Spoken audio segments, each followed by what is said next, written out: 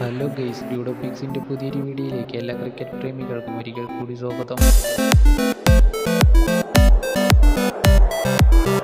സ്വന്തം പേരിന് പിന്നിലെ രസകരമായ കഥ വെളിപ്പെടുത്തിയിരിക്കുകയാണ് ഇന്ത്യയുടെ star ബാറ്ററും I P L Lucknow super giants ടീമിന്റെ നായകനുമായ കെ എൽ രാഹുൽ. രാഹുൽ എന്ന പേര് തനിക്ക് എങ്ങനെയാണ് ലഭിച്ചതെന്നാണ് അദ്ദേഹം വെളിപ്പെടുത്തിയത്.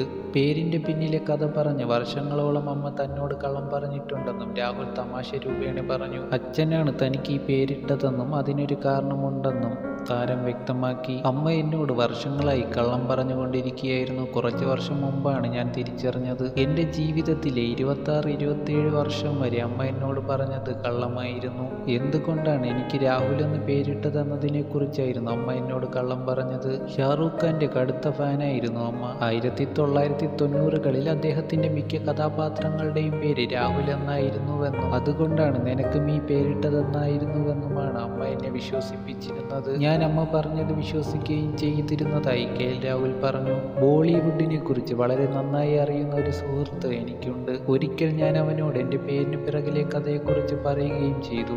അപ്പോൾ അവൻ പറഞ്ഞത് ഇങ്ങനെയായിരുന്നു. ബ്രോ ഷാറൂഖ് ഖാൻ ആദ്യമായി ഒരു സിനിമയിൽ രാഹുൽ എന്ന കഥാപാത്രത്തെ അവതരിപ്പിച്ചത് ആയിരത്തി തൊള്ളായിരത്തി തൊണ്ണൂറ്റി നാലിലാണ് പക്ഷേ നീ ജനിച്ചത് ആയിരത്തി തൊള്ളായിരത്തി തൊണ്ണൂറ്റി രണ്ടിലുമാണ് അതുകൊണ്ട് തന്നെ അമ്മ പറഞ്ഞതിലൊട്ടും കഴമ്പില്ല സുഹൃത്ത് ഇക്കാര്യം പറഞ്ഞതോടെയാണ് ഷാറൂഖ് ഖാന്റെ പേര് പറഞ്ഞ് ഇരുപത്തി ആറ് ഇരുപത്തിയേഴ് വർഷങ്ങൾ അമ്മ എന്നെ പറ്റിക്കുകയായിരുന്നു എന്ന് ബോധ്യമായതെന്നും കെ എൽ രാഹുൽ വെളിപ്പെടുത്തി. അമ്മയുടെ ഷാറൂഖ് ഖാൻ കഥ പോലെ പേരിന് പിന്നിൽ അച്ഛൻ പറഞ്ഞിരുന്നത് മറ്റൊന്നായിരുന്നുവെന്നും കെ എൽ രാഹുൽ വ്യക്തമാക്കി. അച്ഛൻ പറഞ്ഞ കഥയിലാണ് കുറച്ചെങ്കിലും കാര്യമുള്ളതായി തോന്നുന്നതെന്നും താരം പറഞ്ഞു. സുനിൽ ഗാവസ്കറുടെ കടുത്ത ആരാധകനായിരുന്നു അച്ഛൻ.